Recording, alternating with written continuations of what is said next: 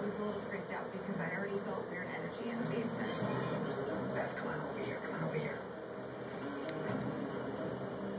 Are these your things? Were you in a hospital on this property?